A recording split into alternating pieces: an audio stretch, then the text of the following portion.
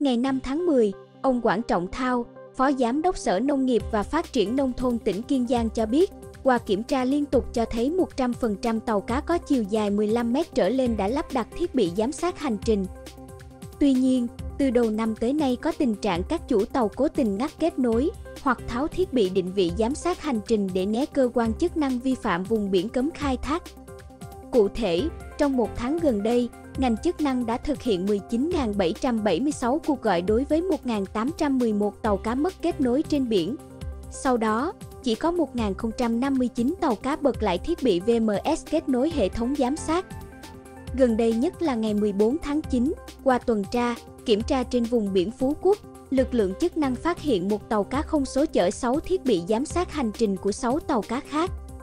Theo Phó Giám đốc Sở Nông nghiệp và Phát triển Nông thôn tỉnh Kiên Giang, các trường hợp vi phạm đều bị xử phạt rất nặng, có trường hợp bị phạt lên tới trên 2,8 tỷ đồng, vượt quá giá trị của chiếc tàu.